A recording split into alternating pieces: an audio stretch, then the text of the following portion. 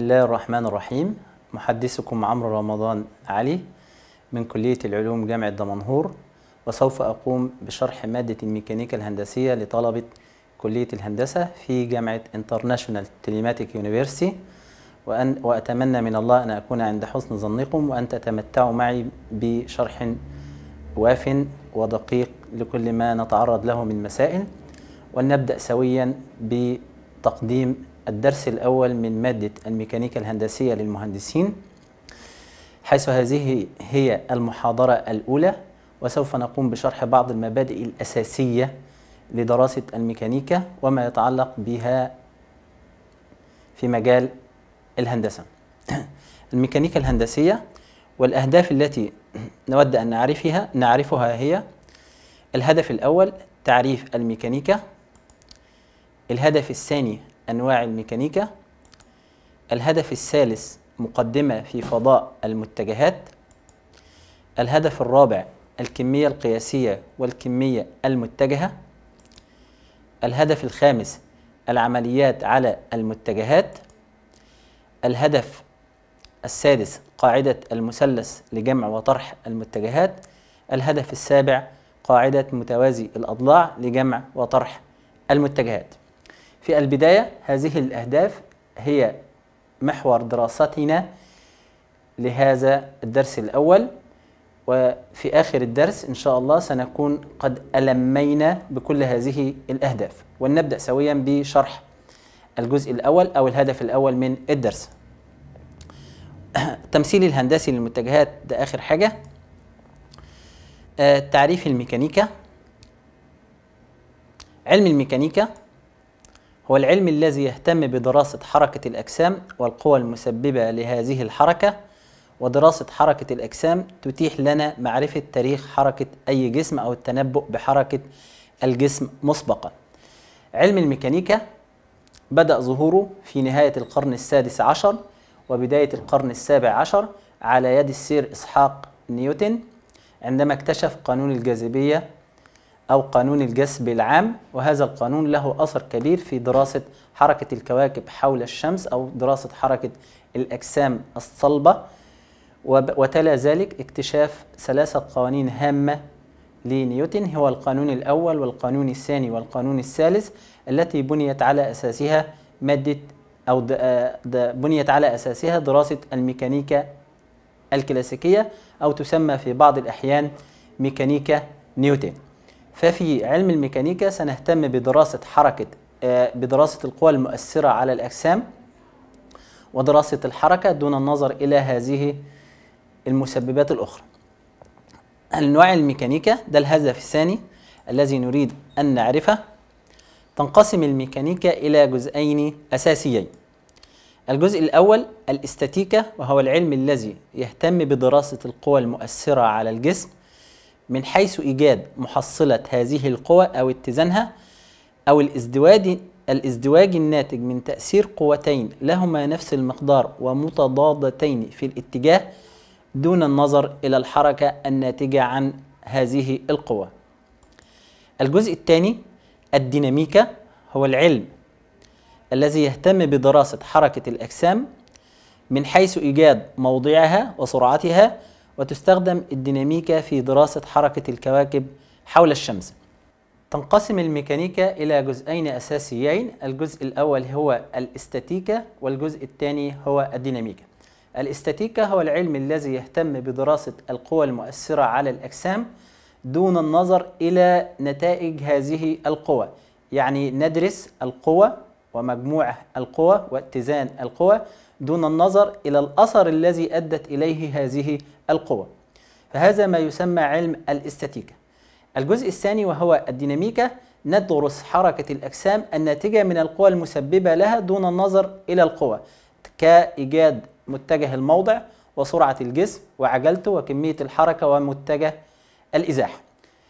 فبالتالي هذه الجزئين الأساسيين من الميكانيكا الهندسية الاستاتيكا والديناميكا فهي مهمة جدا للمهندسين.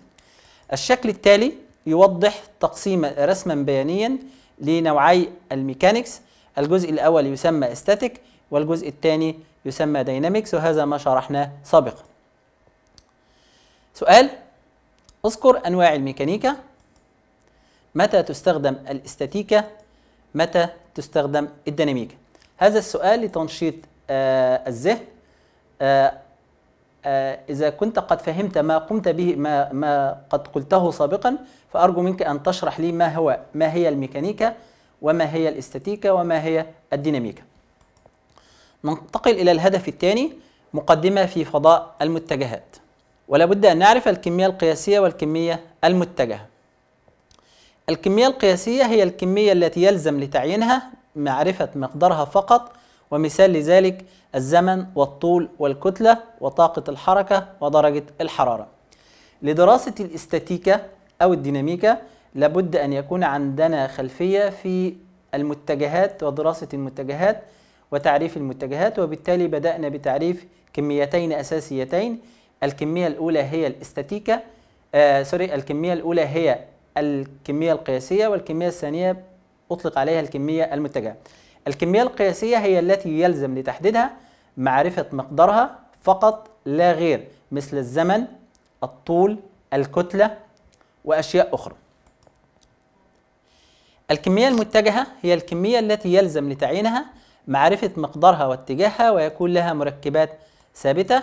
مثال لذلك متجه الموضع السرعة العجلة التيار الكهربائي القوة كمية الحركة. الكمية المتجهة هي الكمية التي يلزم لتعيينها معرفة مقدارها واتجاهها ونقطة تأثيرها ليتم تحديد هذه الكمية تحديدا تاما. ومثال على ذلك السرعة والعجلة كمية الحركة والمجال المغناطيسي والتيار الكهربائي كل هذه كميات قيا متجهة يلزم لتعريفها معرفة مقدارها واتجاهها ونقطة تأثيرها. يمثل المتجه بسهم حيث اتجاه السهم يدل على اتجاه المتجه وطول السهم يدل على طول المتجه ويسمى طول المتجه بمعيار المتجه ويرمز له بهذا الرمز. ويكتب المتجه بأحد حروف الهجاء ويوضع أسفل أو أعلى منه خط مستقيم كما بالشكل التالي. المتجه دراستنا سوف تكون منصبة على المتجه وبالتالي المتجه لكي نحدده سنقوم برسمه طوله يدل على طول المتجه والسهم يدل على اتجاه المتجه وسوف نرمز لهذا المتجه بأحد حروف الهجاء الكبيرة أو أحد حروف الهجاء الصغيرة أيا ما يكون ويتم وضع خط أسفل الحرف أو أعلى منه وهناك بعض الرموز الأخرى حيث هذا الرمز إذا وجد تحته خط أو أق أو أعلى منه خط فهذا يدل على أنه كمية متجهة. العمليات على المتجهات العملية الأولى تساوي متجهين. يقال لأي متجهين أنهما متساويان إذا وفقط إذا كان لهما نفس الطول ونفس الاتجاه كما بالشكل التالي. المتجه A يساوي المتجه A small والمتجه B له نفس طول المتجه B small وفي نفس الاتجاه كذلك المتجه C والمتجه U. المتجهات أو تساوي المتجهات أو العملية قياس أو العملية على المتجهات حيث أن المتجهان يقال لهما أنهما متساويان إذا كان لهما نفس الطول ولهما نفس الاتجاه كما في هذا الشكل. المتجه الصفري هو المتجه طوله صفر واتجاهه غير أساسي أو أي اتجاه حسب المتجهات المعطاة ويرمز له بالرمز زيرو ويوجد تحته شرطة والمتجه الصفري متجه أساسي في أي اتجاه. العملية الأخرى هي عملية الجمع لكي تتم عملية جمع متجهين أو أكثر يتم استخدام قاعدتين أساسيتين هما قاعدة المثلث وقاعدة متوازي الأضلاع. المتجه الصفري متجه ليس له طول أو متجه طوله صفر وله اتجاه اختياري حسب المتجهات المعطاة ويسمى المحايد الجمعي بحيث إذا تمت إضافته على أي متجه لا يؤثر على عملية الجمع أو إذا تم طرحه من أي متجه لا يؤثر على عملية الطرح. الجمع. جمع المتجهات بيانيا يتم باستخدام قاعدتين أساسيتين قاعدة المثلث لجمع المتجهات وقاعدة متوازي الأضلاع لجمع المتجهات أو طرحها. قاعدة المثلث لجمع وطرح المتجهات. قاعدة المثلث تنص على أنه يجب تمثيل المتجهين كضلعين مثلث بحيث يكون المتجهين متتاليين ويكون حاصل الجمع هو الضلع الذي يغلق المثلث كما في هذا الشكل. إذا نظرنا إلى قاعدة المثلث فإننا بحسب هذه القاعدة إذا أردنا تمثيل هذين المتجهين كمثلث فإننا يجب أن نقوم برسم المتجه U والمتجه V كضلعي مثلث بحيث أن اليو والفي يكون متجهين متتاليين والضلع الذي يغلق المثلث هو حاصل جمع اليو زائد الفي. مثال لذلك المطلوب جمع المتجهات الآتية. لكي نقوم بجمع المتجهات الآتية المتجه A والمتجه B باستخدام قاعدة المثلث الخطوة الأولى سنقوم بتثبيت أحد المتجهات وليكن المتجه B. الخطوة الثانية سنقوم بتحريك المتجه A موازيا لنفسه إلى نهاية المتجه B وبنفس الطول. ثم الضلع الذي يغلق المثلث في هذا الاتجاه هو حاصل الجمع B زائد ال A.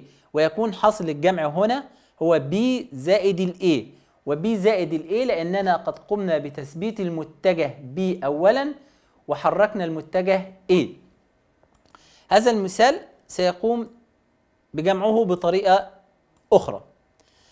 في المثال الأول نحن قد ثبتنا المتجه B. في هذا المثال سنقوم بتثبيت المتجه A.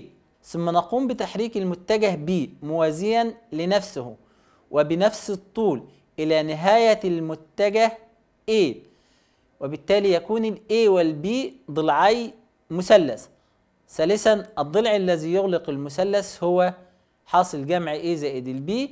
وفي هذه الحالة نحن قد ثبتنا ال A فيكون ال A يأتي أولا وحركنا ال B فيأتي ال B ثانيا. وفي هذه الحالة حاصل الجمع A زائد ال B يساوي B زائد ال A. أي أن عملية جمع المتجهات عملية تبادلية. لا يؤثر موقع المتجه على نتيجة الجمع. لاحظ أنه يمكن تعميم قاعدة المثلث لجمع أكثر من متجهين بنفس الطريقة حيث أنه لثلاثة متجهات غير صفرية. إذا كان لدينا المتجه A والمتجه B والمتجه C وكلها متجهات لا تساوي الصفر وأردنا تعميم قاعدة المثلث على هذه الثلاث متجهات لإيجاد حاصل الجمع. الخطوة الأولى سنقوم بتثبيت أحد المتجهات وهو المتجه B. ثم نقوم بتحريك المتجه C إلى نهاية المتجه B موازيا إلى نفسه وبنفس الطول. الخطوة الثالثة سنقوم بتحريك المتجه A إلى نهاية المتجه C موازيا إلى نفسه وبنفس الطول لتكوين مضلع من ثلاثة أضلاع الضلع الذي يغلق هذا المضلع هو حاصل جمع B زائد ال A زائد ال C. وB تأتي أولا لأننا قد قمنا بتثبيت ال B أولا وC تأتي ثانيا لأننا قمنا بالخطوة الثانية قمنا بتحريك المتجه C ثانيا الخطوة الثالثة ال A يأتي ثالثا لأن ال A آخر واحد يتحرك وقفل المثلث. قاعدة متوازي الأضلاع لجمع وطرح المتجهات. استخدمنا قاعدة المثلث لجمع متجهين وعرفنا كيف نوجد A زائد B أو B زائد A بيانيا باستخدام المثلث. وعممنا القاعدة بحيث إن إحنا لو عندنا أكتر من ثلاث متجهات نقدر نستخدم نفس القاعدة بس بطريقة أوسع لإيجاد حاصل الجمع بيانيا. الآن سوف نستخدم قاعدة أخرى تسمى قاعدة متوازي الأضلاع لجمع المتجهات. تنص قاعدة متوازي الأضلاع على أنه يجب تمثيل المتجهين كضلعين متجاورين في متوازي الأضلاع ويكون حاصل الجمع هو قطر متوازي الأضلاع. المثال التالي يشرح كيفية جمع متجهين باستخدام قاعدة متوازي الأضلاع. إذا كان لدينا متجهين A و B وأردنا تطبيق قاعدة متوازي الأضلاع القاعدة تنص على أنه إذا كان لدينا متجهين وأردنا إيجاد حاصل الجمع بيانيا باستخدام قاعدة متوازي الأضلاع فيجب رسم هذين المتجهين كضلعين متجاورين بحيث يبدأ من نفس النقطة ونكمل هذا المتوازي الأضلاع ويكون القطر الرئيسي هو حاصل جمع المتجهين المراد إيجاد جمعهما بيانيا. والمثال التالي يوضح ذلك. عندنا متجهين A و B في أي اتجاه؟ اتجاه اختياري. ونريد تطبيق قاعدة متوازي الأضلاع على هذين المتجهين. الخطوة الأولى هنقوم بتحريك أحد المتجهين موازيا إلى نفسه وهو المتجه A ثم نقوم بتحريك المتجه B أيضا موازيا إلى نفسه بحيث يبدأ معا من نفس نقطة البداية. ثم نقوم بإكمال متوازي الأضلاع. ثم نقوم بإكمال متوازي الأضلاع. ويكون حاصل الجمع هو القطر الرئيسي A زائد B أو بمعنى آخر B زائد A. ولا فرق بينهما حيث أن A زائد B هي نفسها B زائد A. سؤال؟ أوجد حاصل جمع المتجهات الآتية المتجه A والمتجه B والمتجه C والمتجه D. دول أربع متجهات في اتجاهات مختلفة ونريد إيجاد حاصل جمع هذه المتجهات. هذا السؤال سؤال بسيط وهو تطبيق على تعميم لقاعدة المثلث لأن قاعدة المثلث وقاعدة متوازي الأضلاع تستخدم فقط في حالة جمع متجهين إنما إذا كان لدينا أكثر من متجهين ثلاثة أو أربعة فإننا نستخدم قاعدة تعميم المثلث بحيث إن إحنا نرسم كل ضلع من المت... كل متجه كأحد ضلعي مضلع ثم نغلق المضلع ويكون آه، الضلع الذي يغلق المضلع هو حاصل الجمع النهائي للأربع متجهات. العملية الأخرى المتجه العكسي. عايزين نعرف يعني إيه متجه عكسي. لأي متجه يو. يمكن تعريف متجه آخر له نفس طول المتجه الأصلي ويكون له اتجاه مخالف للمتجه الأصلي ويسمى هذا المتجه العكسي ويرمز له بالرمز minus u كما بالشكل التالي. من تعريف المتجه في بداية المحاضرة أن المتجه كمية يلزم لتعيينها مقدارها واتجاهها. المقدار يدل على الطول والاتجاه والاتجاه يدل على اتجاه المتجه. فإذا كان لدينا متجه في اتجاه معين وأردنا إيجاد متجه آخر له نفس طول المتجه وفي عكس الاتجاه فإننا في هذه الحالة نرسم متجها يسمى المتجه العكسي للمتجه الأصلي. ورياضيا يتم وضع إشارة سالب قبل المتجه العكسي لتدل على عكس الاتجاه. الطرح يمكن تعريف عملية الطرح لأي متجهين على أنها جمع للمتجه الأول مع معكوس المتجه الثاني. بمعنى أن A المتجه A ناقص المتجه B يساوي المتجه A زائد ناقص المتجه B. عملية الطرح لأي متجهين A أو B تتم باستخدام قاعدة الإشارات بحيث أننا قمنا بتحويل ماينس إلى زائد مضروبة في ناقص. وبالتالي إذا أردنا جمع أو طرح أي متجهين فإننا نقوم بجمع المتجه الأول مع معكوس المتجه الثاني. ولذلك فإن عملية الطرح تسمى عملية جمع المتجه الأول مع معكوس المتجه الثاني. مثال يمكن استخدام قاعدة المثلث لإجراء عملية طرح متجهين كما بالشكل التالي. لتمثيل عملية المتجهات بيانيا كما قمنا بتمثيل عملية الجمع وعملية آه، الطرح سابقا باستخدام قاعدة المثلث وقاعدة متوازي الأضلاع سنقوم الآن بتمثيل قاعدة المثلث بتطبيق قاعدة المثلث وقاعدة متوازي الأضلاع على المتجهات لإيجاد عملية الطرح بيانيا. في هذا المثال سوف نقوم. عندنا متجهين A و B في أي اتجاه اختياري وسوف نقوم بتطبيق عملية جمع المثلث أو قاعدة المثلث لإيجاد حاصل الجمع أو الطرح. سنقوم بتثبيت المتجه الأول وهو المتجه B. لاحظ أننا ثبتنا المتجه B. ثم نقوم بتحريك المتجه A مع عكس اتجاهه إلى نهاية المتجه الأول حتى يصبح ناقص A. المتجه B والمتجه ناقص A ضلعي مثلث ومتتاليين. إذا الضلع الذي يغلق المثلث هو حاصل طرح المتجه B ناقص المتجه A. إذا ثبتنا المتجه B وحركنا المتجه A فبالتالي وعكست اتجاهه فبالتالي أنت توجد حاصل طرح B ناقص ال A. نفس المثال لكن بطريقة مختلفة. المتجهين A و B في اتجاهين واختياريين والمطلوب إيجاد حاصل طرحهما. سنقوم بتثبيت المتجه A كما هو. هذا المتجه A في نفس الاتجاه.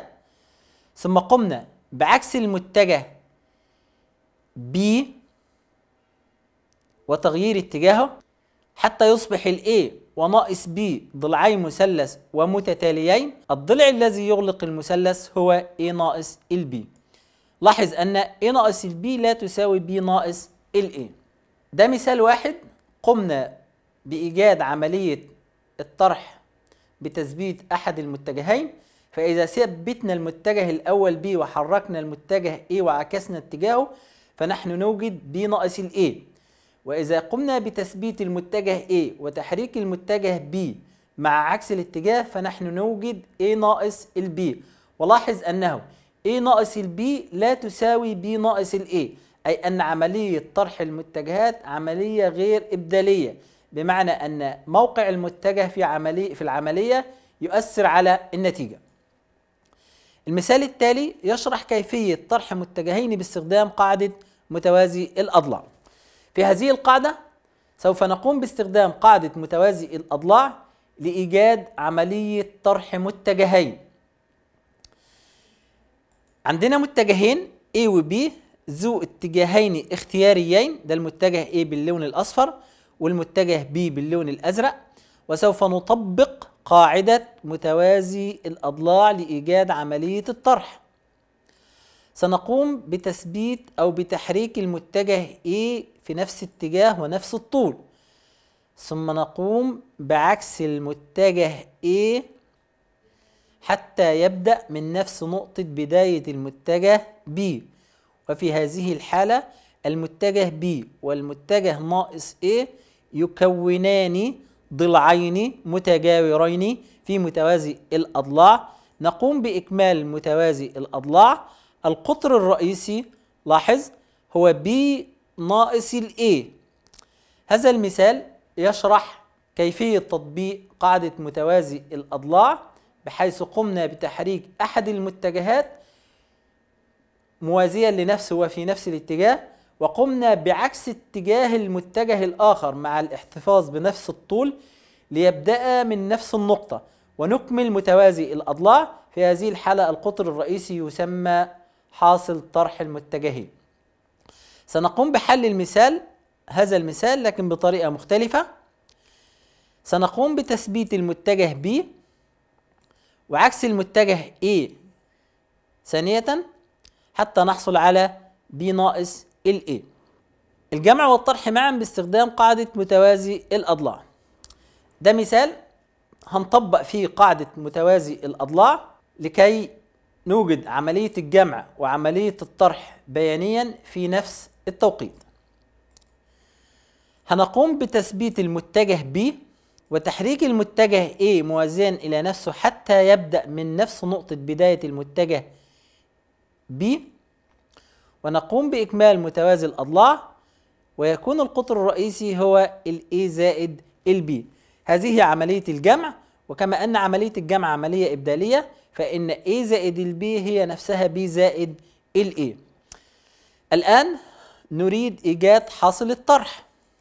سنقوم بعكس اتجاه المتجه A ونفس الطول ليبدأ من نفس نقطة بداية المتجه B ولكن في اتجاه مخالف لاتجاه A ليكون متوازي أضلاع جديد نقوم بإكماله. نكمل القطر الرئيسي نصل القطر الرئيسي يكون حاصل الطرح هو B ناقص LA هذا الرسم البياني يوضح كيفية تمثيل عملية الجمع والطرح بيانيا في نفس الرسم البياني ونلاحظ أن القطر الرئيسي الأعلى لمتوازي الأضلاع الأعلى يسمى A زائد البي هو حاصل الجمع والقطر الرئيسي لمتوازي الأضلاع الأسفل هو حاصل الطرح. الضرب. عملية الضرب هي إحدى عمليات مت... على المتجهات. ضرب أي متجه A في كمية قياسية ألفا ينتج متجها جديدا اسمه ألفا مضروبا في A. طوله هو طول المتجه الأصلي مضروبا في ألفا وله نفس اتجاه المتجه الأصلي حيث أن المتجه A والكمية القياسية ألفا لا تساوي صفر أي منهما لا يساوي الصفر. وهذا مثال على عملية الضرب. ضرب المتجه في كمية قياسية إذا كان لدينا متجه له طول معلوم واتجاه معلوم. وقمنا بضرب هذا المتجه في كمية قياسية موجبة فإن هذه الكمية القياسية تزيد من طول المتجه بمقدار هذه الكمية القياسية وتحافظ على اتجاه المتجه الأصلي. ويصبح المتجه الجديد هو المتجه الأصلي مضروبا في الكمية القياسية أو طوله زائد هذه الكمية القياسية. أما إذا ضربنا الكمية المتجه الأصلي في عدد سالب أو كمية قياسية بإشارة سالبة فإنها سوف تنقص طول المتجه وتغير اتجاهه. فإنها سوف تنقص طول المتجه إذا كانت عددا كسريا وتغير اتجاهه إذا كانت بإشارة سالبة. بشرط أن الكمية القياسية التي نضرب بها أو التي نضرب فيها لا تساوي صفر والمتجه الأصلي لا يساوي صفر. هذا المثال يوضح ذلك. ده المتجه يو طوله معلوم واتجاهه معلوم. إذا ضربنا المتجه في ناقص نص يو فنتيجة لضرب المتجه في عدد كسري فإن طوله يقل بمقدار النصف واتجاهه يتغير نتيجة لوجود الإشارة السالب. إذا ناقص نص يو هذا متجه جديد له نصف طول المتجه الأصلي وفي عكس الاتجاه. أما إذا قمنا بضرب المتجه الأصلي يو في العدد 3 على 2 فإنه يعطي متجها جديدا طوله يساوي 3 على 2 طول المتجه الأصلي ونفس الاتجاه لأن الإشارة موجبة. إذا عملية ضرب المتجه في عدد موجب يزيد طوله وفي عدد سالب يعكس الاتجاه. خواص عملية الضرب في كمية قياسية. إذا كان لدينا كمية قياسية ألفا وكمية قياسية أخرى بيتا مضروبتان في المتجه A فإن حاصل الضرب يجوز ضرب الكميتين القياسيتين معا أولا ثم ضرب النتيجة في المتجه A. الجزء الثاني أو الخاصية الثانية إذا كان لدينا الكمية القياسية ألفا زائد بيتا مضروبة في المتجه A فيجوز عملية توزيع المتجه A على الألفا وعلى البيتا بمعنى إن الألفا مضروبة في ال A زائد بيتا مضروبة في ال A الخاصية رقم ثلاثة ألفا مضروبة في المتجهين A زائد ال B هتساوي عملية توزيع الألفا على المتجه الأول والمتجه الثاني ألفا A زائد ألفا B هنا يوجد شرطة ناقصة. الخاصية الرابعة إذا ضربنا المتجه الأصلي A في واحد فإنه يعطي نفس المتجه الأصلي. هذه خواص عملية ضرب المتجهات في كمية قياسية لأن الكمية القياسية لا تؤثر على اتجاه المتجه إلا إذا كانت سالبة وتزيد من طوله أو تنقص من طوله على حسب ما هي معطاة. وهناك أنواع أخرى من الضرب للمتجهات سوف نقوم بشرحها لاحقا مثل الضرب الاتجاهي والضرب القياسي وضرب ثلاثة متجهات مع بعض ضربا ثلاثيا اتجاهيا أو قياسيا. أي كمية قياسية لا تساوي الصفر هي الألفا والبيتا والمتجهات A و B متجهات غير صفرية فإننا نستطيع تطبيق خواص ضرب الكمية القياسية على الألفا والبيتا والمتجه A والمتجه B. الزاوية بين متجهين. الزاوية بين متجهين غير صفريين هي الزاوية الداخلية المحصورة بين المتجهين عندما يتم رسمهما من نقطة واحدة وتكون قيمتها محصورة ما بين الصفر والباي كما بالشكل وتكون بالقياس الدائري.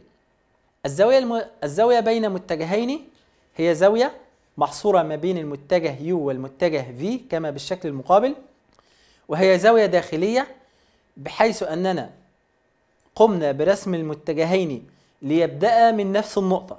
نقطة البداية واحدة. فإن الزاوية المحصورة ما بين المتجهين تسمى الزاوية الداخلية أو الزاوية المحصورة ما بين المتجهين وقيمتها تساوي ما بين صفر وباي. وتكون ويكون المتجهين متعامدين إذا كان قياس الزاوية يساوي 90 درجة. وإذا كان المتجهين منطبقين فإن قياس الزاوية يساوي صفر. وإذا كان المتجهين في اتجاهين مختلفين فإن قياس الزاوية يساوي 180 درجة. التمثيل الهندسي للمتجهات للتعامل مع المتجهات باستخدام التمثيل الهندسي سنقوم باختيار ثلاثة محاور متعامدة تسمى المحاور الكارتيزية. إذا كان المتجه موجود في الفراغ أو محورين إذا كان المتجه موجود في المستوى وهذه المحاور متعامدة مثنى مثنى وتسمى الإحداثيات الكارتيزية ونرمز لها بالإحداثيات بالرموز X و Y ويجب أن يكون ترتيب الرموز في عكس اتجاه عقارب الساعة كما بالشكل التالي. التمثيل الهندسي للمتجهات للتعامل مع المتجهات بطريقة هندسية لابد من تمثيلها هندسيا لأن الطريقة البيانية غير صالحة هندسيا في التعامل مع المسائل الموجودة في الحياة. ولذلك سنقوم بتمثيل هذه المتجهات تمثيلا هندسيا اعتمادا على اختيار ثلاثة محاور متعامدة تسمى الاكس والواي والزد إذا كان المتجه موجود في ثلاثة أبعاد أو في الفراغ وعلى محورين اثنين إذا كان المتجه موجودا في المستوى X و Y ويجب أن يكون ترتيب الاكس والواي والزد في عكس اتجاه عقارب الساعة.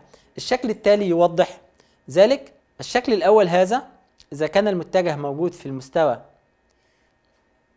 وله مركبتين اثنين المركبة الأولى هنرمز لها بالرمز A واحد والمركبة الثانية سنرمز لها بالرمز A 2 فإننا نختار محورين هو ال X وال Y بحيث أن ال X وال Y متعامدين و A الواحد تسمى المركبة في اتجاه محور X و A 2 تسمى المركبة في اتجاه محور Y theta هي الزاوية التي يصنعها المتجه مع الاتجاه الموجب لمحور إكس وطول المتجه هو طول القطعة المستقيمة الواصلة ما بين نقطة الأصل والمتجه A.